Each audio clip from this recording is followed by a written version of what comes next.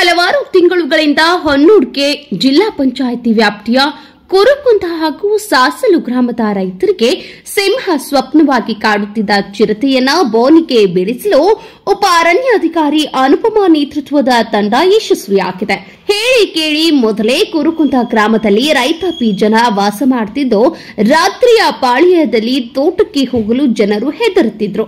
ಅಲ್ಲದೆ ಈ ಗ್ರಾಮಕ್ಕೆ ರಾತ್ರಿ ಸಂಚರಿಸಲು ಸುತ್ತಮುತ್ತಲಿನ ಜನರೂ ಸಹ ಗಾಬರಿ ಪಡುತ್ತಿದ್ದ ಪ್ರಸಂಗ ಸರ್ವೇ ಸಾಮಾನ್ಯವಾಗಿತ್ತು. ಇದರ ಅನ್ವಯ ಹಲವಾರು ಬಾರಿ ಅರಣ್ಯ ಅಧಿಕಾರಿಗಳಿಗೆ ಮನವಿ ಮಾಡಿದ್ರೂ ಪ್ರಯೋಜನವಾಗಿರಲಿಲ್ಲ.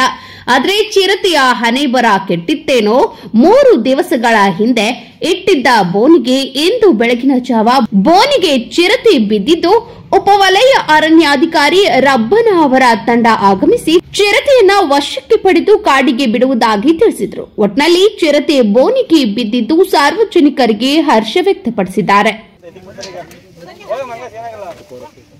ಹತ್ರಕ್ಕೆ ಬರ್ಬೇಡ ಜಾಸ್ತಿ ಇಲ್ಲ ಬಿಡಿ ಎತ್ತಾಕದು